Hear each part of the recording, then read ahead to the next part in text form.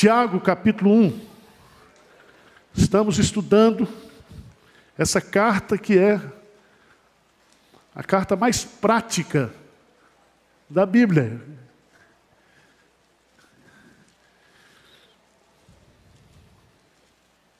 Nós vamos ler Tiago 1 a partir do versículo 19.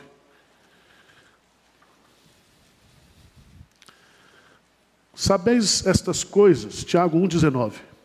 Meus amados irmãos, todo homem, pois, seja pronto para ouvir, tardio para falar, tardio para cirar. Porque a ira do homem não produz a justiça de Deus.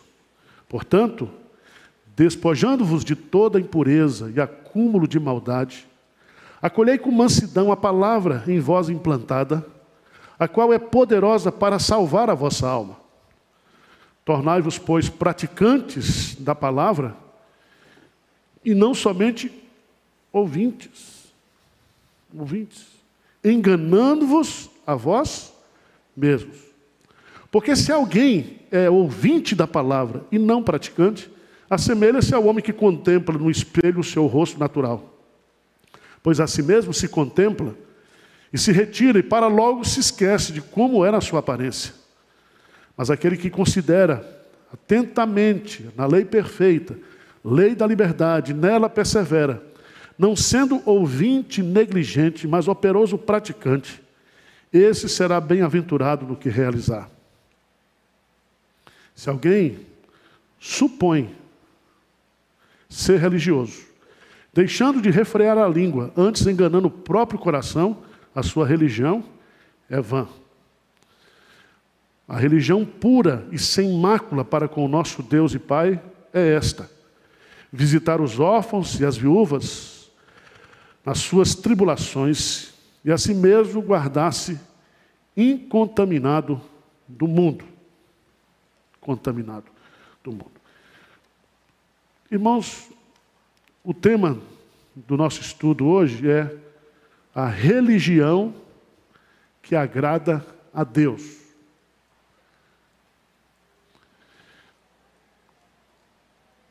Tiago, no capítulo 1, ele fala dos benefícios das, das provações, porque que nós crentes somos provados.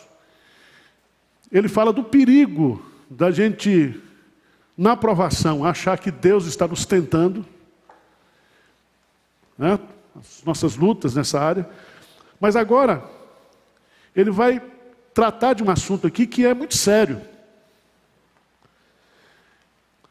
Porque pior do que estar perdido no mundo é o sujeito estar perdido dentro da igreja. Ele achar que é crente, ele achar que é salvo e não ser salvo. E Paulo coloca isso: aquele que pensa ser alguma coisa, não sendo, engana-se a si mesmo.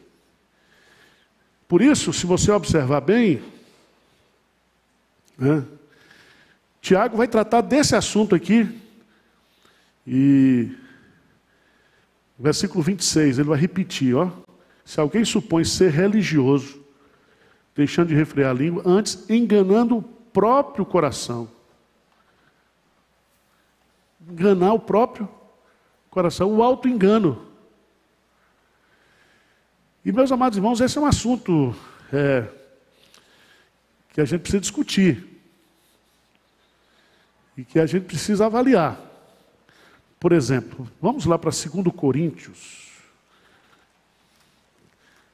2 Coríntios, capítulo 13.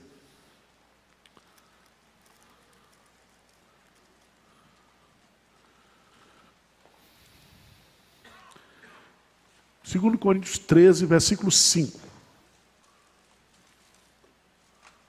que, que diz aí? Examinai-vos a vós mesmos, se realmente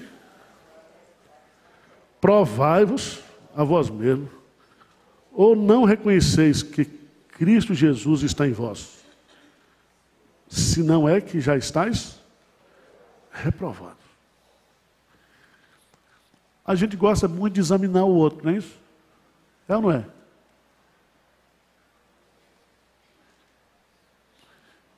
Eu olho para uns crentes aqui na igreja e digo: esse cara não é crente, não. a gente julga. A gente não vê o coração, a gente julga pelo que a gente vê. E Jesus diz: pelos frutos conhecereis.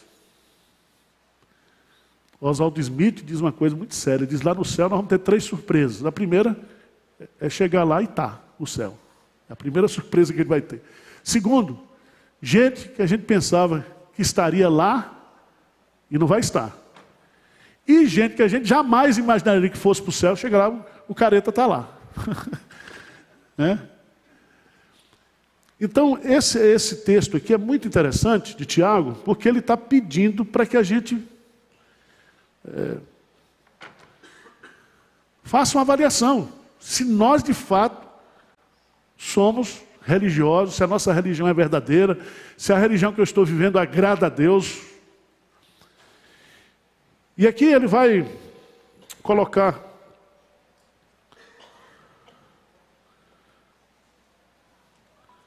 alguns princípios para a gente avaliar. De forma didática, eu coloquei que a religião que agrada a Deus é aquela que fala pouco e ouve mais. Deus lhe deu uma boca só, mas lhe deu o quê? Dois ouvidos. E ele vai colocar isso. Ele diz: se você diz que é crente, mas não refreia a sua língua, você não é crente.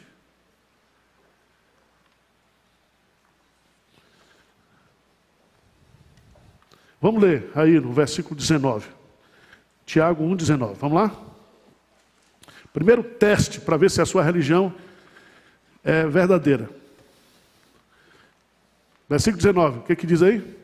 Sabeis essas coisas, meus amados, todo homem, pois, seja pronto, tardio para falar e tardio para se Preste atenção. Uma pessoa normal, fala 16 mil palavras por dia. Agora, se ele for de TI, não. Acho que ele vai falar umas 3 mil. Porque ele só fica lá. Isso significa que todo dia, você fala 16 mil palavras, você escreve um livro de 64 páginas.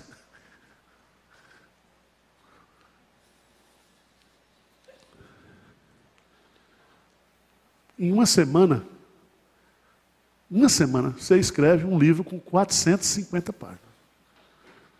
Olha você falando.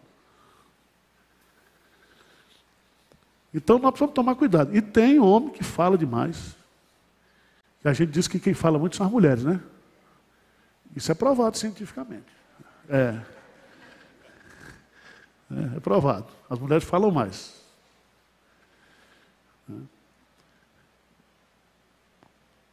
Ele coloca aqui para nós que todos nós, todos, nós sejamos prontos para ouvir. Isso aqui para mim é muito difícil, irmão. Porque às vezes eu acho que eu não sou crente, não, porque eu, eu falo muito. E eu sou, sou muito pronto para ouvir. Só Deus tem misericórdia de mim, porque eu não gosto de ouvir. Eu não tenho paciência para ouvir. Mas ele disse: tem que trabalhar isso, o Espírito Santo vai nos dar graça. Tardio para falar e tardio para se dar. Por que, que ele relaciona aqui o falar, o ouvir, o falar e o se irá? Porque na muita comunicação, na, na muita conversa, isso pode gerar o quê? Conflitos. Conflitos. Hoje nós temos a chamada língua digital. Você não fala, mas você o quê? Escreve. Você curte, você comenta, e você o quê? Compartilha. Isso é coisa do diabo, bem certinho mesmo, assim, porque antes de você curtir, de você comentar e compartilhar, você deve avaliar aquilo né, que você está recebendo ali. E é tão interessante que Alguns que estão estudando o comportamento hoje, porque já há muita gente viciada em internet, né? Existe um departamento aqui no, no Hospital das Clínicas, na área de psicologia, que já trabalha esses casos. O sujeito, aquilo que ele não falaria pessoalmente, ele fala o quê? Pelas redes sociais. Ele agride, ele ofende.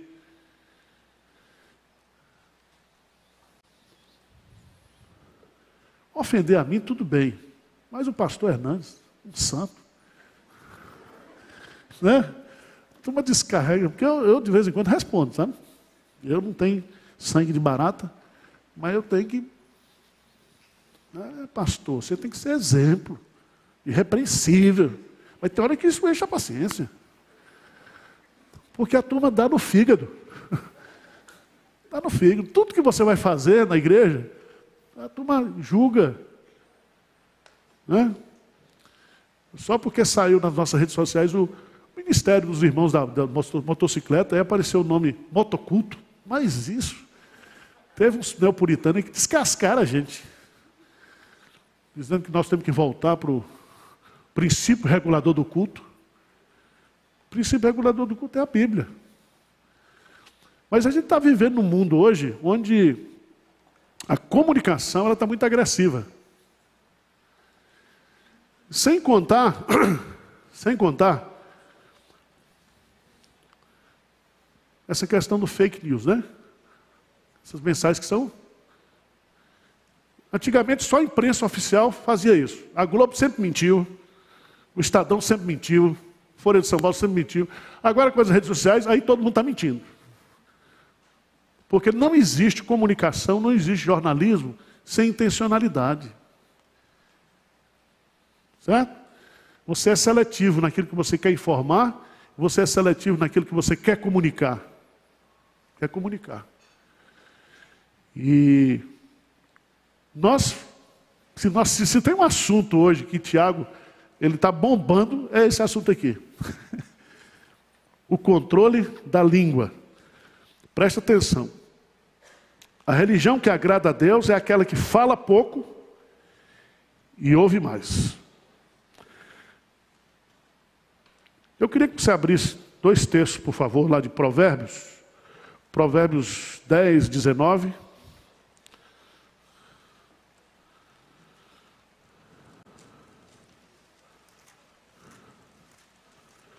Provérbios 10, 19. O que, é que diz aí a palavra de Deus? No muito falar, não falta transgressão. Mas o que modera os lábios é prudente. Ou seja, quem fala demais acaba o quê? Transgredindo.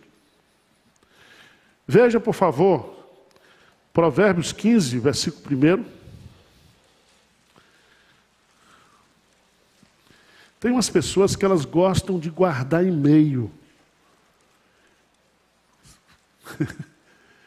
guardar e-mail. Ele recebe um e-mail, uma mensagem, ele guarda. E tem uns que fazem exegese de e-mail, assim, para alimentar mais a briga, a intriga. Né? O que, é que diz aí? Provérbios 15, 1. A resposta, branda, mas a palavra dura suscita a ira. Veja porque que Tiago está juntando. Né? Ouvir, falar e ira.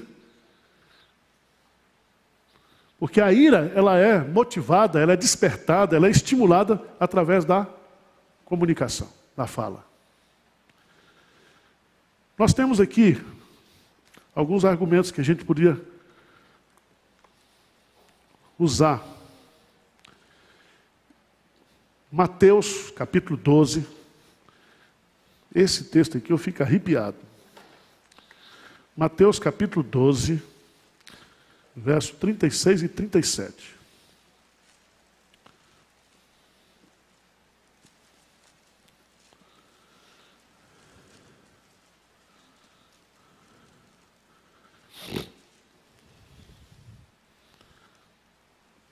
Versículo 36 e 37. O que é que diz aí? Digo-vos que toda que proferirem os homens, dela darão conta, porque pelas tuas palavras serás justificado, e pelas tuas palavras serás condenado. Toda palavra frívola, você dará conta. Estão perdidos.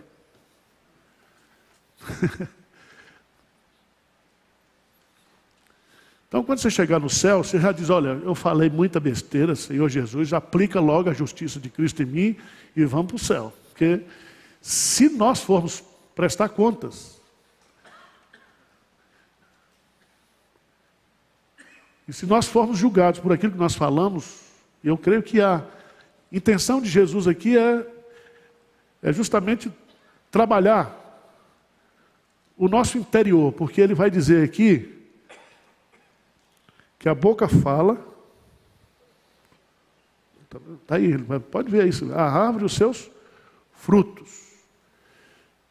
Então, a única maneira de a gente melhorar a nossa comunicação é trabalhando o nosso coração. O nosso coração.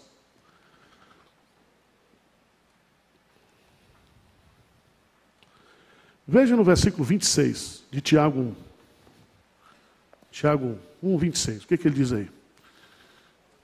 Se alguém deixando, antes enganando o próprio coração, a sua religião é, é vã. Supõe ser. Então, veja, irmãos, como isso é sério.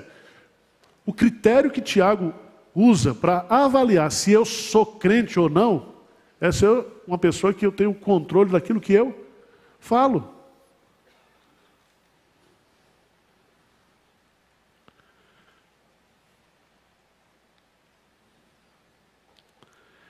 O que Tiago está ensinando para a gente aqui é o seguinte, eu vou resumir.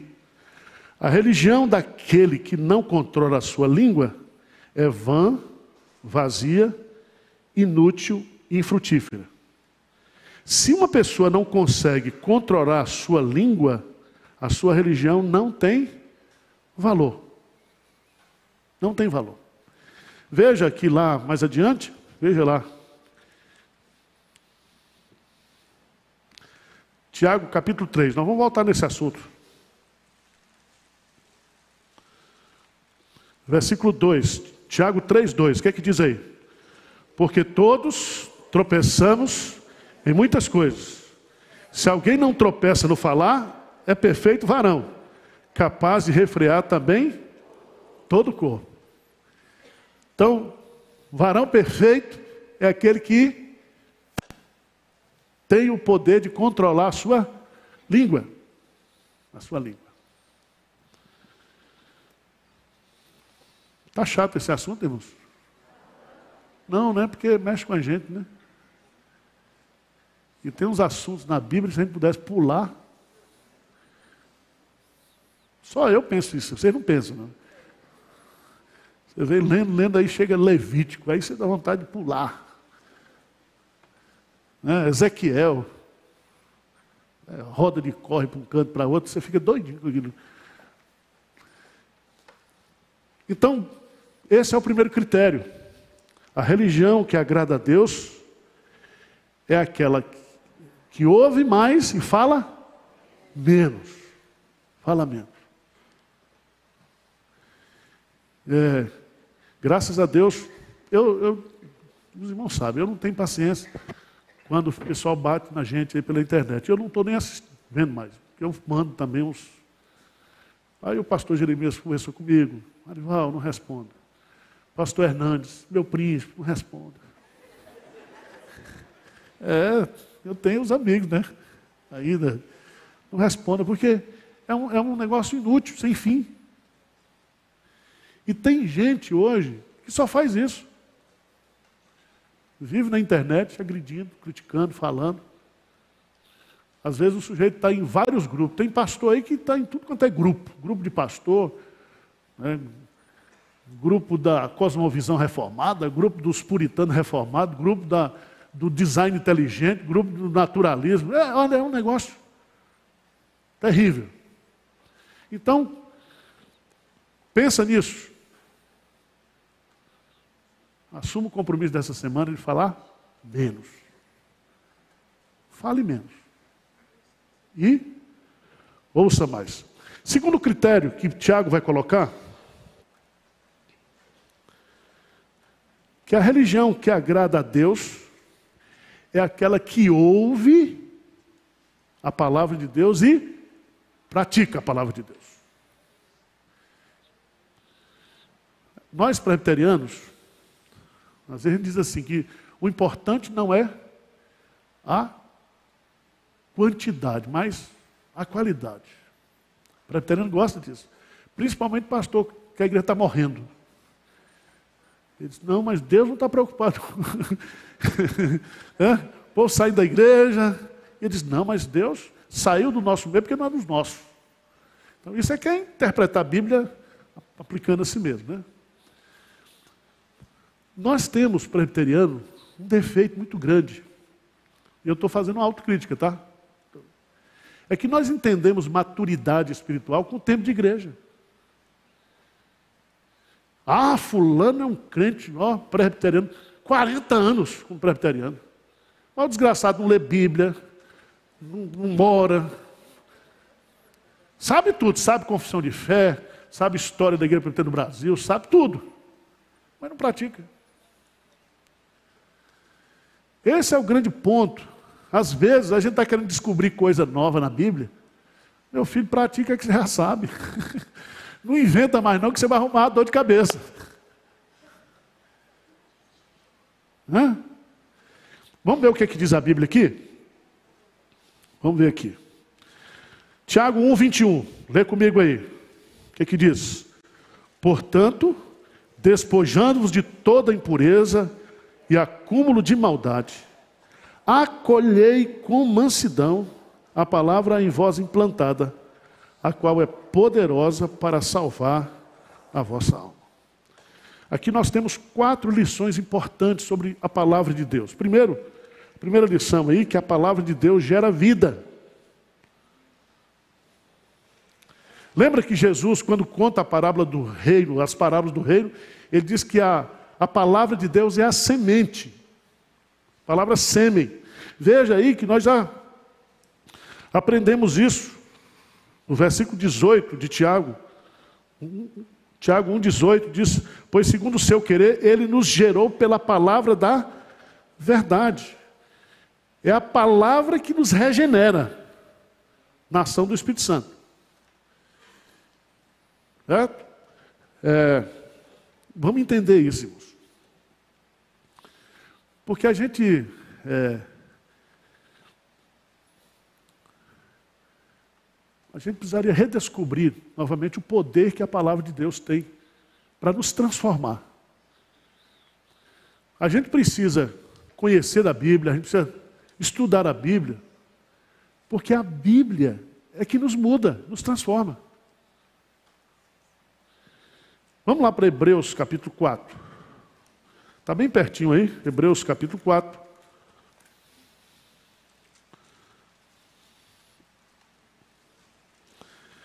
4,12, o que, que diz aí?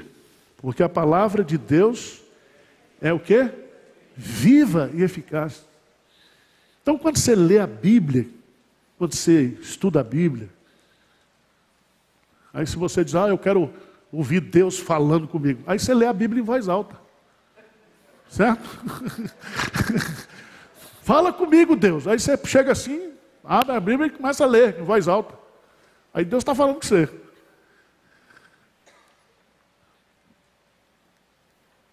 Não basta conhecer teoricamente a Bíblia, ter conhecimento. Nós temos que entender que a Bíblia é viva. Ela, veja aí, ela corta como espada, ela penetra, ela discerne, e ela também revela aquilo que está dentro de nós. Por isso que Tiago vai dizer que a, a Bíblia, a palavra de Deus, como o quê? Um espelho. Quando você vai para o espelho, o espelho não mente para você. Sua feiura fica ali. Né? Sua beleza também, quer dizer, o espelho tem isso. Então, Tiago usa essa figura do espelho, inclusive, para mostrar que a Bíblia revela, mostra para a gente quem a gente é.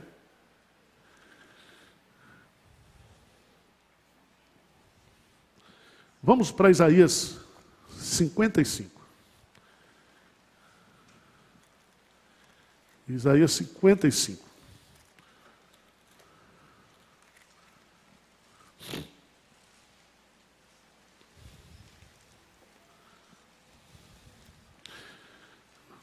Versículo 8 diz assim: Deus está dizendo, tá?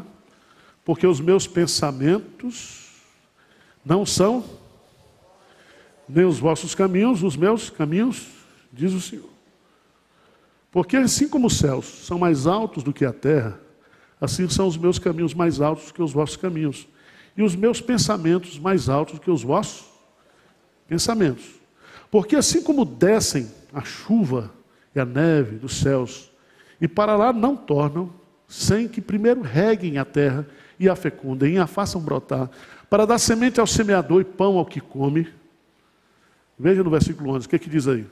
Assim será a palavra que sair da minha boca. Não voltará para mim vazia, mas fará o que me apraz e prosperará naquilo. Então veja bem, você acha que Deus tem controle da fala ou não? Ele Esse texto é maravilhoso, porque nos dá uma aula de linguística. Porque ele começa dizendo assim: os meus pensamentos não são os vossos pensamentos. E como é que você expressa os seus pensamentos? Através da, da fala.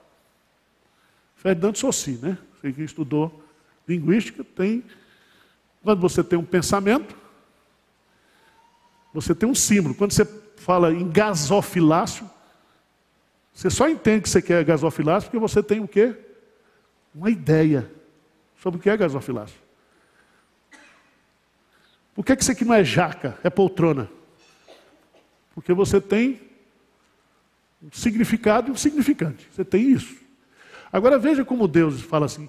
Ele diz: os meus pensamentos significa que a palavra de Deus são os pensamentos de Deus. Você quer saber como Deus pensa? Lê a Bíblia. Agora, quando esses pensamentos eles são revelados, escritos e lidos e aprendidos, esses pensamentos têm um poder. E ele vai comparar né, com a neve e a chuva. E ele diz: os meus pensamentos, a palavra que procede, não voltará para mim vazia. Então há um poder na palavra muito grande que a gente precisa entender. Tem gente que diz, ah, pastor, já li a Bíblia dez vezes. Sim, mas põe 10% em prática, pelo amor de Deus, porque ler dez vezes fica até um exibicionismo. Então o que Tiago está chamando para a gente aqui é o seguinte: qual é a religião que agrada a Deus? Primeiro, aquela que fala ouve mais e fala menos. Qual a religião que agrada a Deus? É aquilo que você vai aprendendo e vai o quê? Praticando. Aprendeu sobre dízimo, né? Aí você passa a ser dizimista. Tem os crentes modernos hoje que não, não tem esse negócio de dízimo. Tem até pastor aí falando besteira. Eu nunca vi um dizimista arrependido. Nunca vi. Eu só vejo gente que não dá dízimo defendendo que dízimo não é bíblico. E quando a gente dá o dízimo, a gente está ali empatadinho com o fariseu. Porque nós estamos fazendo só aquilo que é a gente. Quando você dá com generosidade, com bondade, aí é outra coisa, né? Mas eu nunca vi gente generosa na igreja que não seja dizimista. Outro dia o cara estava discutindo sobre dízimo, discutindo, falando. Eu falei, meu irmão, você é dizimista? Não, então fica quieto. Jesus diz lá, o Malaquias diz, provai-me nisto, diz o Senhor diz, se eu não vos abrir, e derramar bênção. Estou pedindo. E bênção é, são bênçãos mesmo, tá? Porque quem está prometendo é Deus. Às vezes a bênção não é um carro novo, tem outras coisas que são mais importantes. Que se Deus não der para você, você vai sentir falta. Tá certo? Então, bênção. Então, aprendeu, pratica. Veja o que ele vai colocar aqui. A palavra de Deus gera vida. Segunda lição sobre a palavra de Deus. A palavra de Deus produz santificação.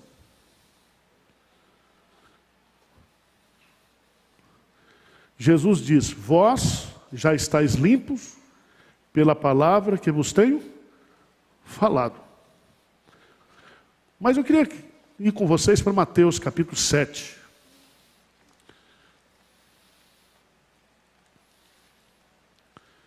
Mateus capítulo 7. Final do Sermão do Monte. Eu acho isso aqui fantástico, depois de fazer um sermão, que é praticamente o código de ética do, daquele que é súdito do reino de Deus, Jesus encerra. Jesus era bom para contar história. Eu acho que ninguém conta história melhor do que Jesus. Ele é o mestre por excelência. Diz assim, capítulo 7, versículo 24. Lê comigo o versículo 24. Todo aquele ouve essas minhas palavras e as pratica, comparado a um homem prudente que edificou a sua casa sobre a rocha. E caiu a chuva, transbordaram os rios, sopraram ventos e deram o ímpeto contra aquela casa, que não caiu, porque fora edificada sobre a rocha. O que, é que essa historinha nos ensina? Hein? O que, é que essa história nos ensina? Jesus está terminando o sermão do monte. Vocês se lembram, começou com as bem-aventuranças, mandou lá um monte de coisa. Ele disse, gente, agora eu quero concluir. Ele vai fazer a aplicação, ele conta essa historinha. E ele vai dizer, primeiro, que a vida do crente é uma vida atribulada, é ou não é? Não é o crente que corre atrás de tribulação, é a tribulação que corre atrás do crente. Diz aí que não é a casa que dá, é a casa que sofre. E caiu a chuva, transbordaram os rios, soparam no vento e deram com ímpeto contra aquela casa. A casa aí é quem? A pessoa. Ele vai dizer o seguinte: nós vamos ter estabilidade em meio aos sofrimentos da vida, se a gente ouvir e a gente o quê? Praticar. Não, preste atenção. Deus não quer saber a quantidade de conhecimento bíblico que você tem. Você pode ficar tranquilo que você vai para o céu, não vai ter vestibular. Certo? Nem Enem. Não vai ter concurso bíblico para você entrar no céu. Mas Jesus está dizendo aqui: todo aquele, pois, que ouve as minhas palavras e as pratica. Pratica.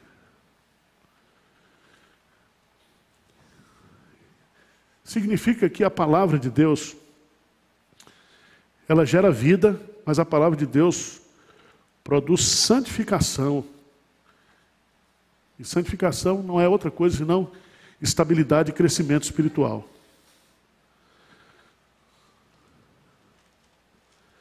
Veja no versículo 28 de Mateus 7. Mateus 7, versículo 28. Quando Jesus acabou de proferir essas palavras, estavam as multidões maravilhadas da sua doutrina, porque ele ensinava como quem tem autoridade e não como os escribas. O que é ensinar com autoridade? Por que, que Jesus Cristo está comparando com os escribas? Hein?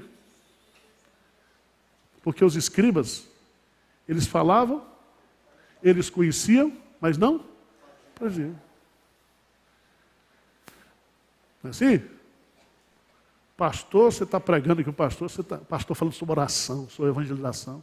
Você fala, pastor nem ora, nem evangeliza. Desgraçado, quer ensinar isso para a gente.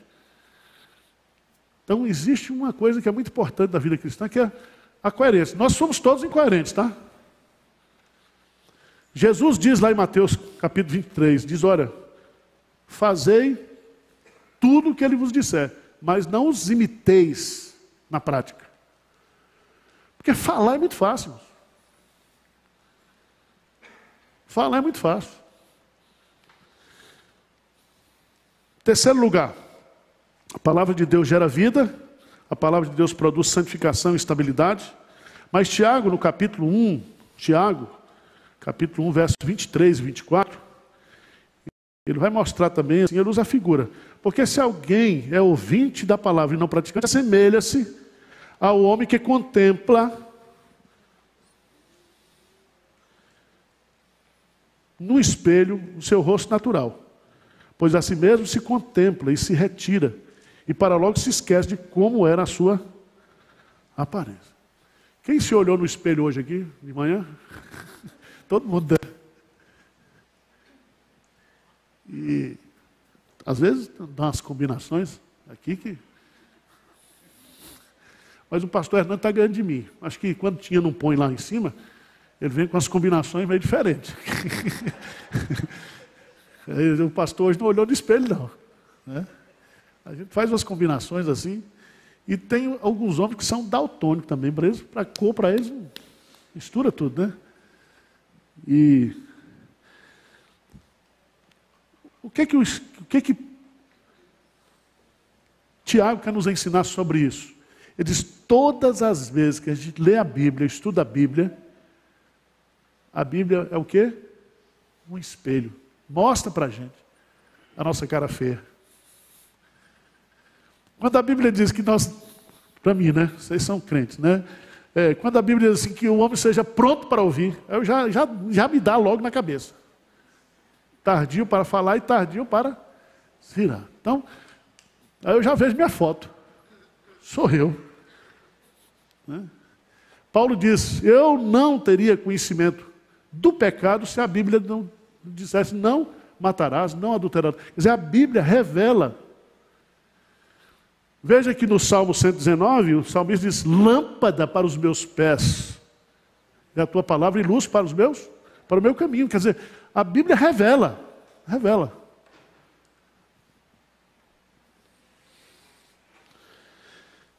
Experimentamos isso quando ouvimos um sermão ou quando meditamos nas Escrituras. Às vezes você vem para a igreja, isso não acontece com vocês, é só comigo. Eu fico pensando assim, bem que fulano podia estar aqui para ouvir esse sermão.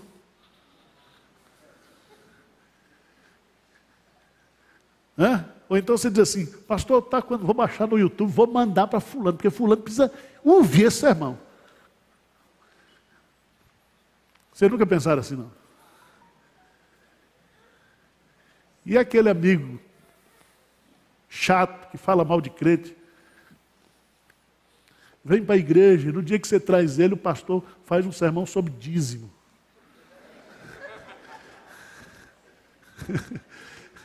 é? O cara fica zangado. E você fica doido para ajudar o pastor. Pastor, muda aí o sermão.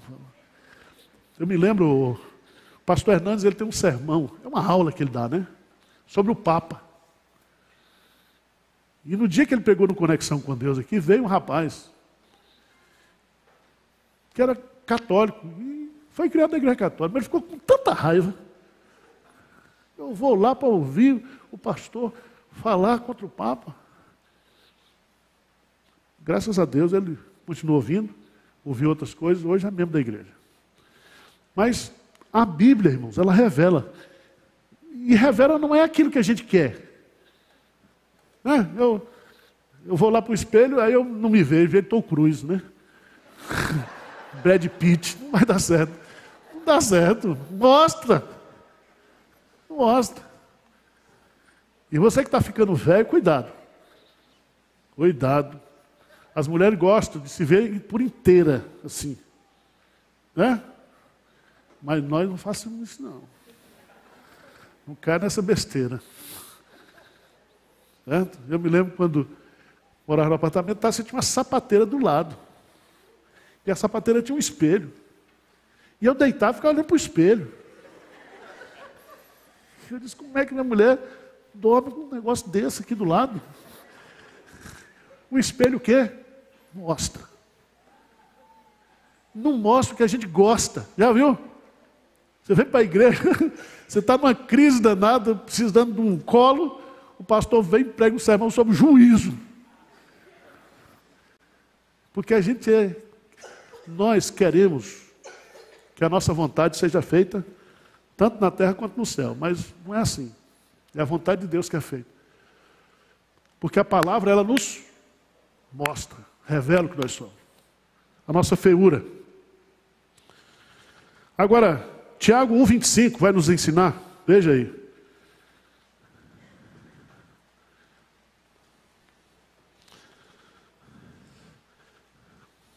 O que, que diz? Versículo 25.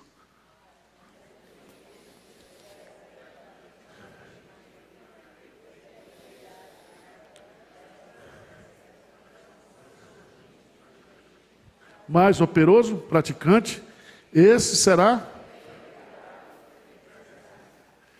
que, que ele está dizendo aí? É que quando a gente ouve e obedece, a gente é feliz. Então, qual é a felicidade do crente? É colocar em prática o quê? A palavra de Deus.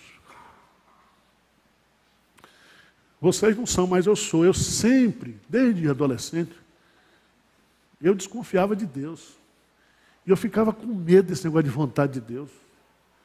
Porque geralmente quando falava, é a vontade de Deus, para mim era falando, lá vem pancada. Por isso que lá em Romanos, capítulo 12, Paulo fala que nós devemos nos oferecer, né, como sacrifício vivo, santo e agradável, que é o vosso, para que experimenteis qual seja a boa, perfeita e agradável vontade de Deus. Não tem outro caminho que não seja pela obediência. Por que, que tem crente na igreja que conhece Bíblia, mas vive murmurando? Infeliz. É porque ele não está o quê?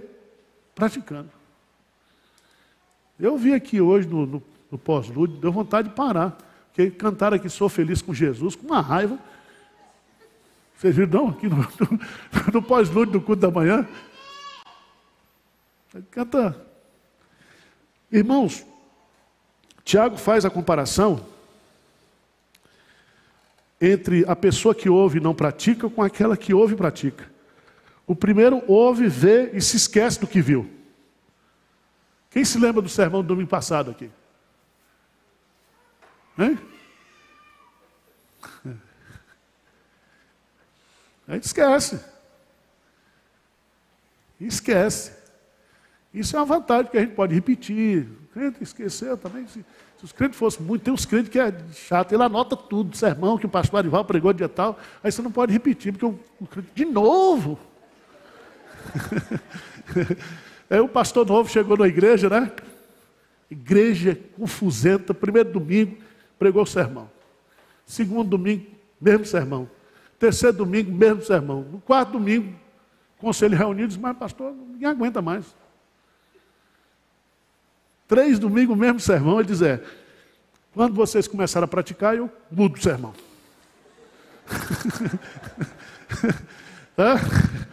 Porque todo mundo gosta de ouvir um sermão. É bom, não é?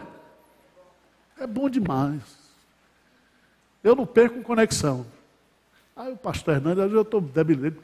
Chega aqui, faz a expulsão da palavra, eu saio daqui alegre. A palavra de Deus não tem coisa melhor, irmãos, do que um, uma boa aula expositiva de Bíblia, um bom sermão, né? É como você fazer uma refeição. Agora, o duro é negócio de praticar. Aí o bicho pega. Sermão do pastor. A gente traz os caras de longe, os caras bater na gente aqui. Pastor Ronaldo Lidório veio aqui e falou: agora nós temos que amar. Eu falei, mas amar quem? Os irmãos? Os irmãos. Não, mas também que tem que amar os inimigos. Eu falei, pastor, só sai lá de Manaus para deixar a gente cheio de culpa aqui. Porque quando você vai estudar a Bíblia e você vai descobrir a profundidade do que é ser cristão, por isso que Tiago está dizendo: examine se você é cristão mesmo, se a sua religião é verdadeira. Não é se você sabe a confissão de fé de Westminster, se você é calvinista, arminiano, isso é porcaria na fé. Jesus quer saber o seguinte: você está praticando aquilo que você está aprendendo da Bíblia? É isso que ele quer saber. E é tão importante isso, e eu quero encerrar. Último ponto aqui.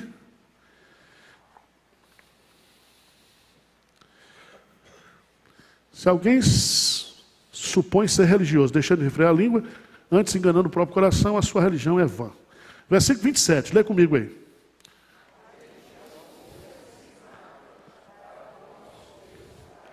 É esta: visitar os órfãos e as viúvas nas suas tribulações, e a si mesmo guardar-se um contaminado do mundo. Então, três testes para a sua religião. Conversa. É isso? A sua conversa. Quer conhecer a religião de alguém? Veja como essa pessoa conversa. Segunda coisa, veja se ela está colocando em prática aquilo que, você, que ela está aprendendo da Bíblia. E a terceira, terceiro teste que aparece aqui, eu chamaria de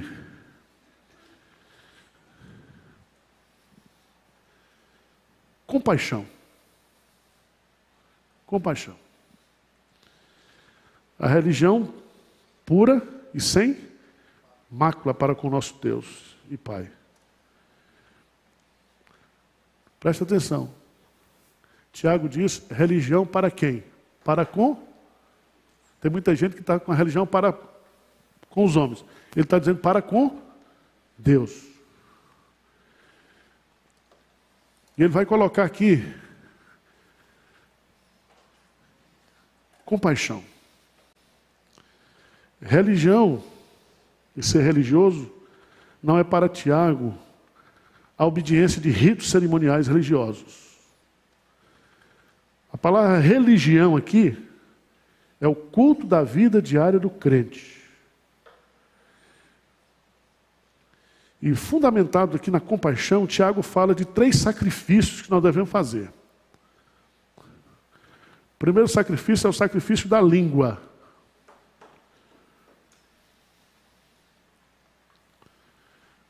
Tem algum ex-pentecostal aqui? Então, tá bom. Então nós temos que queimar a língua. Tem um salmo que diz, o salmista diz assim: põe um anjo à porta dos meus lábios. E tem que ser um anjo com aquela espada que na hora que você botar a língua para fora, ele desce o cacete.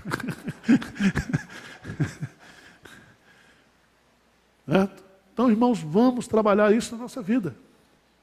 Refrear a nossa língua.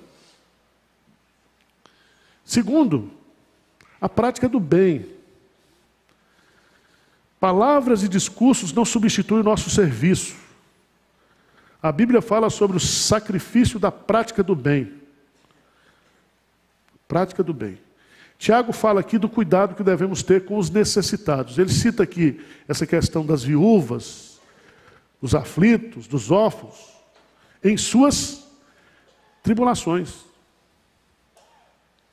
Ou seja, nós temos que demonstrar na nossa compaixão diária, na nossa vida diária, essa compaixão, esse cuidado para com as pessoas. Deu para entender? Então, é, transforme a sua, a sua religião uma coisa prática, do ponto de vista de ter compaixão com aqueles que estão passando por necessidades. Mas aqui tem uma coisa que eu acho interessante, ele vai terminar aqui. Ele diz: a religião pura, sem mácula para com o nosso Deus e Pai é essa: visitar os órfãos e as viúvas nas suas tribulações. E aí termina dizendo: e a si mesmo guardar-se incontaminado do mundo. Então aqui nós temos o princípio da santificação pessoal. Aqui eu aprendo duas lições aqui. Primeiro, cada crente Cada crente. Quando ele diz assim, e a si mesmo guardasse. Cada crente é responsável pela sua santificação pessoal. Porque você pode dizer, não, eu não me santifico mais aqui na igreja porque também eu não tenho motivação. Meu irmão, com motivação, sem motivação, você é responsável. Você é responsável. Então, santificação é uma coisa pessoal, cada um cuide de si mesmo. A expressão aqui, incontaminado,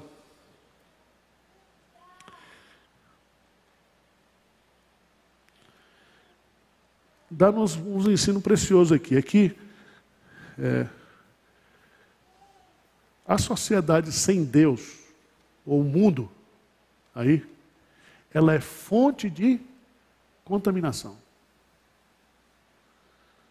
Fonte de contaminação. Às vezes a gente está preocupado com corona, coronavírus, né?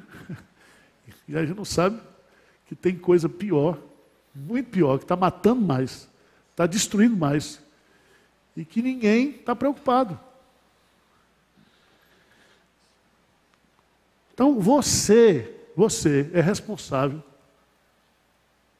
pela sua santificação pessoal.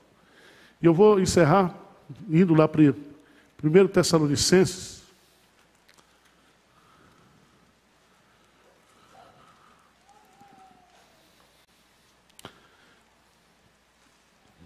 Primeiro Tessalonicenses 4, 4. Ah, você diz, ah, pastor, eu caí no pecado, mas a carne é fraca, né? Não aguentei. Tudo bem. Isso é problema seu. Se não aguentou, agora aguenta. As consequências. Mas veja o que é que diz aí. Hein? Um de vós.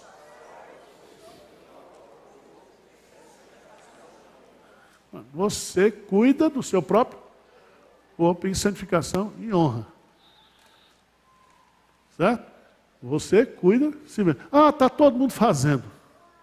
Moisés diz lá: Não seguireis a multidão para praticares aquilo que é errado. Não põe culpa, não projeta culpa dos seus erros, das suas falhas, para a igreja, para o outro, para o pastor. Não, cada um tem que cuidar de si mesmo. Tem um ditado que diz que Deus deu uma vida para cada um, para que cada um cuide da sua, sua vida. Vai cuidar da tua vida, filho. Ao invés de querer, antes de querer reformar o mundo, antes de querer apontar todos os pecados da igreja, Tiago está dizendo: cuide da sua religião pessoal, sua vida pessoal. Tá bom? Na próxima semana nós vamos entrar, ou na próxima oportunidade, nós vamos entrar nesse capítulo 2, que é uma coisa que ninguém pratica aqui, que é a acepção de pessoas. Hein? Você gosta de pobre? Fala a verdade. Vamos trabalhar esse assunto aqui. A acepção de pessoas. O pastor gosta daquele crente que dá o dízimo maior. Tem isso na igreja hoje? Hein? Tem ou não tem? Tem. Você é velho. Né? Você acha que a gente trata, você trata as pessoas igualmente? Fala a verdade. Isso é religião? Prática. Prática. Vamos ficar de pé, vamos orar, encerrando. Aqui vai ter a oração do copo d'água agora. Vamos orar, irmãos? Senhor Deus, nós estamos aqui diante do Senhor. E não há nada na nossa vida, no nosso coração, que esteja oculto aos teus olhos. Que o Senhor tenha misericórdia de nós, porque nós somos pó. E o Senhor sabe disso. Ajuda-nos, Pai, a viver um cristianismo mais prático. Ajuda-nos a colocar em prática aquilo que a gente vem aprendendo, principalmente o amor uns pelos outros, a capacidade de suportar, de caminhar juntos, de ter misericórdia uns com os outros. Nos ajude nisso, Pai. Nos ajude. E que cada um aqui possa voltar para casa hoje, fazendo uma reflexão sobre a sua vida pessoal. Se nós estamos preocupados, ó Deus, em agradar o Senhor com a nossa vida, com o nosso cristianismo, com a nossa fé. Nós oramos agradecidos em nome de Jesus. Amém.